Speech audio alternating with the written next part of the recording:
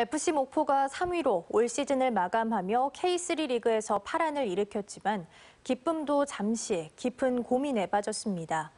예산은 많지 않고 주축 선수들은 빠져나가고 있는데 기대치는 높아졌기 때문입니다. 양현승 기자가 취재했습니다. K3 리그 15개 팀 가운데 6, 7위 정도면 만족하겠다던 FC 목포. 종합 3위에 오르는 기염을 토했습니다. 수비력은 거의 리그 첫 번째, 두 번째 정도 수준이고요.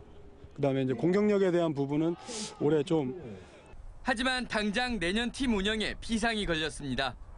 빗장 수비의 핵심 선수 2명과 주축 공격수가 각각 다른 팀 이적이나 군입대가 확정됐습니다.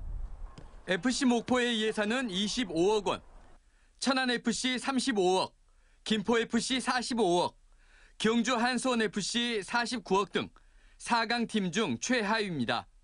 내년 예산이 동결된 상태에서 상위권 성적표에 부합하는 연봉 인상을 감안하면 검증돼 있는 다른 팀 선수를 데려오는 건 불가능에 가깝습니다.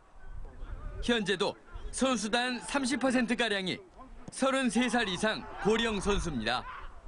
우수한 선수가 많이 유치되고 또 경기를 뛸 수 있도록 해야 된다고 생각합니다. 현재 28명인 FC 목포보다 선수가 적은 곳은 15개 팀 중 강릉 시민FC밖에 없는데 FC 목포 선수단의 규모를 효율화하라는 압박까지 나오는 상황. 예상 밖의 좋은 성적표를 쥐고도 FC 목포가 웃지 못하고 있습니다. MBC 뉴스 양혜승입니다.